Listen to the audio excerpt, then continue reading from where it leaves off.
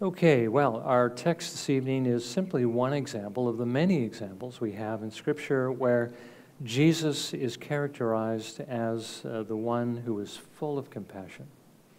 So let me read that for you from Matthew chapter 9, verses 35 through 38. Matthew writes Jesus was going through all the cities and villages, teaching in their synagogues and proclaiming the gospel of the kingdom and healing every kind of disease and every kind of sickness. Seeing the people, he felt compassion for them because they were distressed and dispirited, like sheep without a shepherd. Then he said to his disciples, The harvest is plentiful, but the workers are few. Therefore, beseech the Lord of the harvest to send out workers into his harvest. Well, may the Lord bless his word to our edification this evening. Now, again, just quickly, we have been seeing that Christianity is a religion of love. I hope we're convinced of that by this time. It's, it, it certainly is doom and gloom for those outside of Christ, but for those who are the Lord's, it's all about love love towards God, love towards our neighbor, love towards one another. The love that the Father and Son share among themselves has been put in our hearts by Christ so that we might love as He loved one another and, of course, the Father. Now, again, that's what the Spirit's ministry is meant to produce in our lives. That's what we saw in the lives of David and Paul, and not surprisingly, in the life of our Lord Jesus. We saw this morning that Jesus, the one whose image we are predestined to share, whom the Father gave as our great example, that his life was full of love, first toward the Father. Now, again, he did more than just simply say, I love you, Father, but he showed his Father that he loved him. And again, we saw his faithfulness in worshiping him, his constancy in fellowship with him in prayer, his being jealous for his glory and defending the honor of his Father, doing exactly what it is that his Father commanded him to do at all times and in all places, joyfully and not grudgingly, even when it came to that ultimate stoop to become a man and then offering himself on the cross. He did that in order that, that, that he might re, uh, really pre- repair his father's justice, offer the payment that was necessary for him to be able to extend his mercy and grace to us. Now, Jesus said this is the way that he would show the world his love for his Father. Now, this evening, I want us to consider the other aspect of Jesus' love, and that is his love towards his neighbor. Now, we know the greatest commandment in the law is to love the Lord with all the heart, mind, soul, and strength, and we saw that Jesus did this. But Jesus also kept the second greatest commandment he loved his neighbor as himself. Now, we know he did this by keeping the commandments. He honored his parents okay, and, he, and all authority. He never injured anyone or took a life. He kept himself and others morally pure. He never took anything that didn't belong to him, uh, though everything did belong to him. He never told untruths about anyone, nor did he covet what others had. Now, that is the definition of love according to the commandments. But we know there's more to it than just simply that. We know there's also the heart behind it. And, you know, we, we see this, I think primarily we could probably relate it to the sixth commandment, you know, you shall not murder, which is a commandment not only, you know, not to take away life unjustly, but also not to, to hurt our neighbor, and more than that, to defend them, to protect them, uh, to reclaim them, to heal them, to help them, uh, and particularly to help them in their greatest danger, which is um, that of eternal damnation to which all men are liable. Our Lord Jesus Christ fulfilled that by being full of compassion and showing mercy to everyone around him. And this is the facet of his love that I want us to focus on this evening. Jesus is full of compassion. Now, that's what we saw in our passage. Let me just read it again because I do want to make a couple of points here. Jesus was going through all the cities and villages, teaching in their synagogues, proclaiming the gospel of the kingdom, and healing every kind of disease and every kind of sickness. Seeing the people, he felt compassion for them because they were distressed and dispirited like sheep without a shepherd. Then he said to his disciples, The harvest is plentiful, but the workers are few. Therefore, beseech the Lord of the harvest to send out workers into his harvest. Now, again, I want us to focus in on this word compassion because it is often used to characterize Jesus. Now, compassion is, is a word that is um, actually means the same thing as sympathy. They just come from different roots. You know, compassion from Latin and sympathy from Greek, but they both mean the same thing, and it means this to suffer with. It means to identify with someone in their need, to feel something of the pain that they're going through. Now, again, that's how love expresses itself. It's one of the main ways in which love, care, and concern for others is experienced, at least when it comes to those who are in need. And that's usually how love is expressed toward those who are in need. When the Good Samaritan saw the Jewish man who had been beaten and left on the side of the road to die, he felt compassion. What does that mean? It means that he could see himself in that man's position. He could think about what that man must be going through. And being moved by that man's plight, by that compassion, he reached out to do something about it. Now remember, Jesus spoke the parable of the Good Samaritan in answer to the lawyer's question Who is my neighbor? The answer was, Everyone near is your neighbor, particularly those who need you. Now, the author to the Hebrews tells us that one of the main reasons for the incarnation, not the only reason, but one of the reasons, was that Jesus might draw near to us to experience what we experience, that he might know what it is that we have to go through, so that he could be not just a high priest, but a sympathetic high priest. Remember what the author to the Hebrews says about the importance of a priest being a man and, and not an angel, right? He says, For every high priest taken from among men is appointed on behalf of men in things pertaining to God in order to offer both gifts and sacrifices for sins. He can deal gently with the ignorant and misguided, since he himself also is beset with weakness. So we have a priest that is like us, uh, in this case, the, the, uh, the high priest, so that he can be sympathetic, so he can empathize, sympathize, have compassion on us and bring us before the Lord in his work of mediating before the Lord on our behalf. Now, that is the reason the author to the Hebrews tells us in chapter 2, verses 17 and 18, that Jesus became a man. Therefore, he had to be made like his brethren in all things, so that he might become a merciful and faithful high priest in things pertaining to God to make propitiation for the sins of the people. For since he himself was tempted in that which he has suffered, he is able to come to the aid of those who are tempted. He also says in chapter 4, verse, verse 15, For we do not have a high priest who cannot sympathize with our weaknesses, but one who has been tempted in all things as we are, yet without sin. Jesus became a man so that he might be able to sympathize with what it is we're going through. And the fact that he can is the reason why the author to the Hebrews also encourages us to come to him knowing that he will help us. He says in verse 16 of chapter 4 Therefore, let us draw near with confidence to the throne of grace so that we may receive mercy and find grace to help in time of need. Jesus knows what we're going through. Jesus is full of compassion.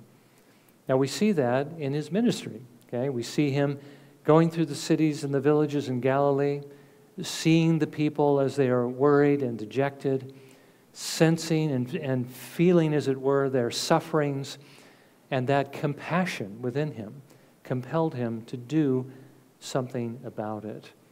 We read in our passage, he relieved their suffering by healing their sicknesses, and he preached the good news to them, uh, the gospel.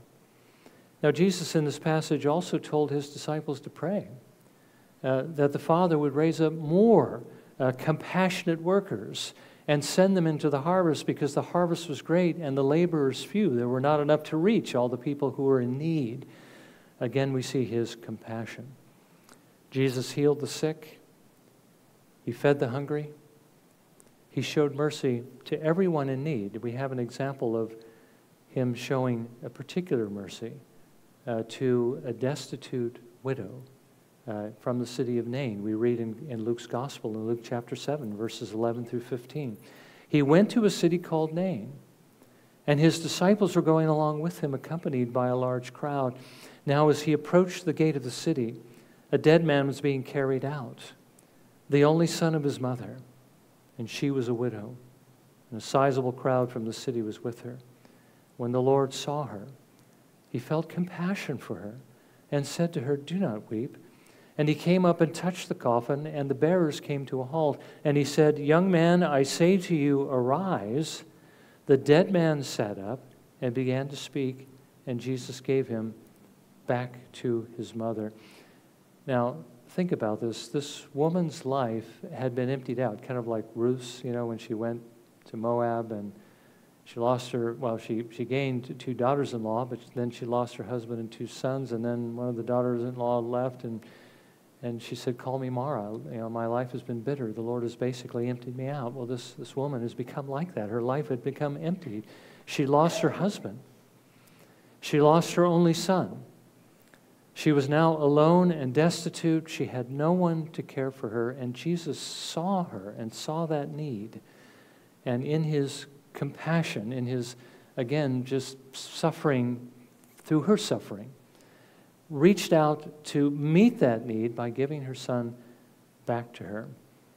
Now, again, we know that Jesus did these miracles of healing, he did these miracles of raising the dead to show who he was, to prove whom he was, and that is, of course, the Messiah.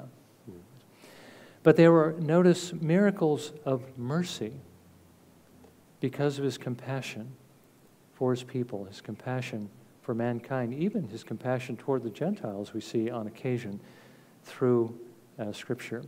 Now, that was just his compassion on those who didn't necessarily believe on him. He, he particularly extended this compassion toward his own, considering that moving account of where Lazarus passes away and Jesus goes to comfort Martha and Mary. After he had first of all talked to Martha, and Martha said, Lord, if you had been here, my brother would not have died. And then Mary comes out to meet him, and we read that Jesus saw her weeping. And the Jews who came with her also weeping. He was deeply moved in spirit and was troubled, and said, Where have you laid him? They said to him, Lord, come and see. Jesus wept. So the Jews were saying, See how he loved him. You know, it is true that there are those who read this, this um, particular account and they say that the reason why Jesus wept is because of their unbelief. Um, Jesus had done so much for them, they had seen so much, and yet they still didn't believe. But yet, we have to think about this for a minute because Jesus hadn't given them any particular promise that Lazarus was going to be raised again from the dead. And also, when Jesus is confronted with unbelief, it's usually a different response than weeping. You know, it's usually a bit of a reproof, a rebuke towards those who don't know him, but encouragement to those who do that they should trust and they should believe. I think it's far more likely that he was weeping because of their suffering. Jesus saw Martha and Mary so grieved because of the loss of their brother. He saw the Jews who also cared about their loss also weeping and feeling their pain, okay, being filled with compassion. He was moved to tears. And it's interesting that he still felt this, this, this pain and this suffering, even though he knew he was going to turn it all around and he was going to turn it back into joy because he was going to raise Lazarus again. He still wept because, again, of what the pain that they were experiencing. Now, it's interesting that, um, that his love is, is not only expressed, of course, in compassion, but it's also, and I, I should say his love, uh, towards his father and towards um, uh, his neighbor, sometimes can be expressed in anger towards those who had no compassion. You know, it's, um, we read in, in Mark 3 of one example of, of those who are just the opposite of what it is that Jesus desires us to be, just the opposite of what, it, what he is. Uh, in Mark chapter 3, verses 1 through 6, he entered again into a synagogue, and a man was there whose hand was withered. They were watching him to see if he would heal him on the Sabbath so that they might accuse him. He said to the man with the withered hand, Get up and come forward. And he said to them, Is it lawful to do good or to do harm on the Sabbath, to save a life or to kill? But they kept silent. After looking around at them with anger, grieved at their hardness of heart, he said to the man, Stretch out your hand. And he stretched it out, and his hand was restored. The Pharisees went out and immediately began conspiring with the Herodians against him as to how they might destroy him.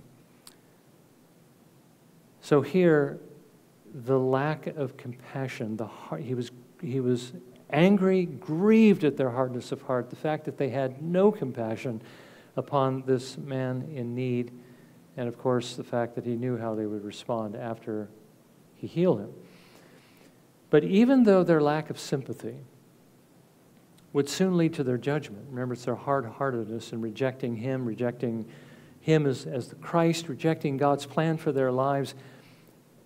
Even after that, Jesus again felt compassion for them, thinking about what they would have to go through when that judgment finally came. And again, it would be a just judgment, but Jesus did not rejoice in it. Listen to what we read in Luke 13, verses 34 through 35. O Jerusalem, Jerusalem, the city that kills the prophets and stones those who, who uh, sent to her, how often I wanted to gather your children together, just as a hen gathers her brood under her wings, and you would not have it. Behold, your house is left to you desolate.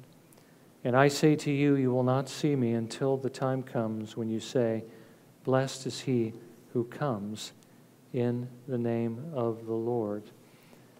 And then we see later in Luke's gospel that when he was approaching Jerusalem and he saw the city, that he wept over it, saying, If you had known in this day, even you, the things which make for peace, but now they have been hidden from your eyes. For the days will come upon you when your enemies will throw up a barricade against you and surround you and hem you in on every side and they will level you to the ground and your children within you, and they will not leave in you one stone upon another, because you did not recognize the time of your visitation. So Jesus' love for uh, mankind made him angered at a lack of love for mankind, but even when judgment came on them for their lack of love, Jesus still felt compassion towards them. He did not again glory or rejoice in what was coming upon these people for their rejection of him. Now, again, we see his compassion towards his disciples in the last, uh, at the Last Supper. We read in John 13, verse 1.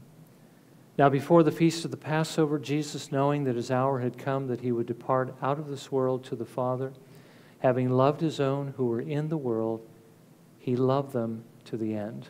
By the way, let me just mention that as I read about how Jesus, having compassion upon his disciples, knowing what they were about to go through, the promises that he makes to them, these are the same ones that he makes to us as we have to be in this world and we're going from here to, to the heavenly kingdom. Think about how he, he, or the one who was about to suffer, how his thoughts were on what they would have to suffer and how he might comfort them. So, in other words, Jesus is looking at the cross, but his thoughts are on his disciples in more than one way. I mean, certainly his compassion was moving him to offer himself for them because that is how he's going to save them. But he was also thinking about what they were going to have to, go through, and so he, he reaches out to comfort them. He assured them, first of all, that his love for them would continue even after his departure, because the reason why he was leaving was that he might prepare a place for them. He says in chapter 14, verses 1 through 3 Do not let your hearts be troubled. Believe in God. Believe also in me. In my Father's house are many dwelling places. If it were not so, I would have told you, for I go to prepare a place for you. If I go and prepare a place for you, I will come again and receive you to myself, that where I am, there you may be also. So Jesus comforts them and says his love for them would not end, but will continue even after his death. He warned them about the difficulties that they must face before they would go to this heavenly place that he had prepared for them. That as the world had hated and persecuted him, so it would do to them. He told them these things in advance so that when they happened, they wouldn't be stumbled. Okay? He would die and they would grieve, but again, their grief would be turned into joy when they saw him again. He wanted them to have peace through their trials. So he told them he would send them the Comforter, and he gave them the promise that he would overcome the world that threatened them. And then at the end of this time, he offers in their hearing perhaps the most heartfelt prayer that we have recorded in the Gospels, where Jesus offers his high priestly prayer. Now, again, think about the situation. Jesus is the one about to suffer unimaginable pain and torment on the cross, and his thoughts and his heart is directed towards his disciples to prepare them for this. And then finally, we see his greatest act of love in his willingness to take his Father's wrath in their place and in our place. You know, it's interesting, there's only three times recorded in the Bible where Jesus wept. Okay, we, we, we really have seen the other two, right? When he saw the grief of Mary and Martha and the Jews over Lazarus, when he foresaw the destruction of Jerusalem and the hardships and the terrors that his people would have to endure during that time. But the third time was in the garden, when he prayed before his crucifixion. We read in Hebrews 5, verse 7, and I believe here the author to the Hebrews is referring to that event. In the days of his flesh, he offered up both prayers and supplications with loud crying and tears to the one able to save him from death. And he was heard because of his piety. Now, Jesus knew that if he didn't go to the cross for us, for his disciples, we would all perish. And so, out of his great love and his compassion, he sought the Father earnestly for the strength to be able to do this with loud crying and with tears because of his earnest desire that he accomplish this work for his Father and for his people. Again, Jesus is full of compassion. Now, the point behind all of this, of course, is that we have been made partakers of the Holy Spirit. We have been predestined to become conformed to his image. And so, as a part of our Christian experience, we are to have the same compassion towards others, and particularly towards each other. Remember, I, I, mentioned this at the beginning. Jesus said to his disciples at the Last Supper in the upper room, along with all those other things, in chapter 15, verses 12 through 14 This is my commandment, that you love one another, just as I have loved you. Greater love is no one than this, that one lay down his life for his friends. You are my friends if you do what I command you. And what is Jesus commanding them to do? Well, certainly, you know, not just to go through the motions that he has gone through for them, but rather to enter into one another's difficulties and pains and sufferings and to reach out in mercy to do something about them, to become like him towards each other. This is really a large part of what sanctification is all about putting on the character of our Lord Jesus Christ, and I think, again, particularly his compassion. Because we usually think about, again, um, love is, is not just, again, a feeling, but it's an action, but it's generally an action towards somebody in need. And in order to reach out to somebody in need, we have to sense something of the urgency of the need. We need to sense something of the need itself, the pain, to reach out to do something about it. So Paul writes this in Colossians 3, verses 12 through 13. So as those who have been chosen of God, holy and beloved, put on a heart of compassion, kindness, humility, gentleness, and patience bearing with one another and forgiving each other, whoever has a complaint against anyone, just as the Lord forgave you, so also should you. You know, we talked about how love is, is the fountain of, of all the other graces that uh, are, we, we call the fruits of the Spirit. Here, Paul leads with this idea of a heart of compassion almost as though it's the same thing as the love which the Spirit of God gives to us, that, that desire or that, that ability to be able to, to sympathize, to see the needs of others, and to respond to them accordingly in mercy with the right kind of attitude, the kind of attitude that our Lord Jesus would have with the kindness and the humility, the gentleness and the patience, the forbearance, the, for, the, the forgiveness you know, the, the kind of love that Jesus showed us. Again, as we are enabled by God to do this, we are to reach out to meet those needs because we sense the need. Whether the needs are physical, providing food and covering, or spiritual. Um, we see their, the, the fact that they need salvation, the salvation that God provides through the gospel. That's what Jesus did. Okay? And that's what he calls us to do.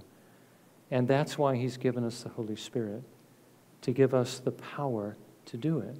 But again, like every other thing in sanctification, there's something we have to do. As Paul already told us, we need to put these things on.